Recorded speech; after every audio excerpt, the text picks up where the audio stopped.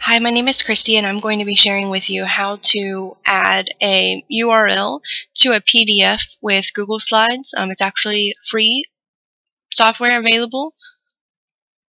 So the first thing you want to do is just go to googledrive.com and if you don't already, make sure you have a Google account because you will need to log in in order to use these features, um, but they're very handy. So once you're all logged in, you're going to go ahead and go to New and you're going to click on Google Slides. And from here, you'll get a couple options of the theme that you might want to have, but for this one, we're just going to choose the default simple theme. Go ahead and hit OK. And the next thing we want to do is change the size of the actual image, um, change the size of the actual slide. So I normally stick with it 8.5 by 11 because that's the size that we generally print out. However, you can do any number of inches. You can also use pixels if that makes it easier. Like if you're making a Teachers Pay Teachers banner for your store or something like that, you might prefer to use pixels. Um, so you can see that drop down there for that. Alright, so that's what it's going to look like, just a plain slide, 8.5 by 11 size. Go ahead and change the name to something that's a little bit more relevant for you. So I've got mine changed to Terms of Use.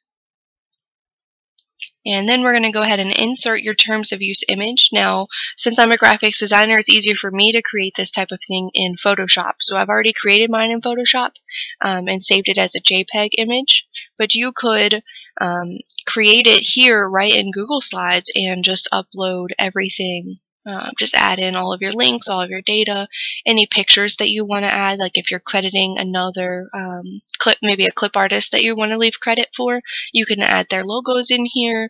Um, so you can create everything right in Google Docs. And like I said before, Google Docs is free. It's not something you have to pay extra for to get all of these fancy features like you do with Adobe.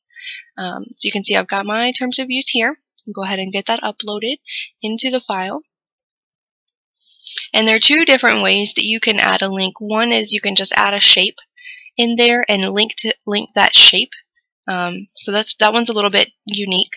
The secondary option is you can just do a regular old text link, um, or you can um, just leave the URL and turn the URL into a link. So you do have those options. Alright, so you can really choose any one of these shapes, but I'm going to go ahead and choose a rectangle because I want it to cover the top section that I have here with my logo. So just create a rectangle, covers the whole thing. Um, and then you right click and you can see there you have an option for link. You can also use control K as a keyboard shortcut if you'd like to use that. So you type in your URL that wherever you want the user to be directed to. In this case I want anyone who clicks this particular section to go to my blog. And um, there's actually a neat search function here. If you don't know the URL, you can find it that way, or you can just copy it, paste it from your browser.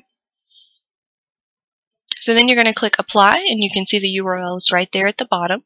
And now we're going to change this square to actually make it uh, transparent. So you won't actually see the square, you'll just actually see my logo. And if you click that area, it'll take you right to my site. So that's pretty handy. You can just change the transparency of that particular shape. And the other secondary way how to do this is just with a regular old text link. So you just insert a text box and you're going to type in your URL. So again, in this case, I want it to direct people to my blog. So got that typing in there. And this one is fairly easy. Um, if you hit enter, it will turn that into a URL for you. So you don't have any extra steps. Um, or if you wanted it to say something different, you could go to link. and you can go and edit that link and actually have it say, you know, visit me at my blog instead of actually seeing the www. Um, so that's a pretty handy feature. You can have it, you know, be a little bit creative with that. Um, and the next important thing is to make sure you save the file as a PDF. So you're going to go here to File and go to Download As, and then make sure you click the one that says PDF. Um, so you give it a name, save it, and when you open it up, you can see that it will actually take you to whatever you typed in there. So in this case, I've got you directed to my blog, and there's my blog. I clicked on the top.